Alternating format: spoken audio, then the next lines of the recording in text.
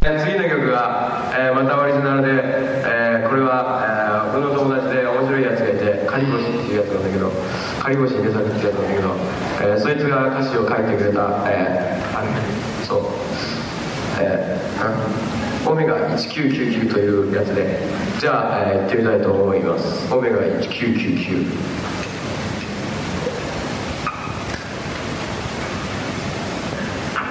そう重たくならないようにうん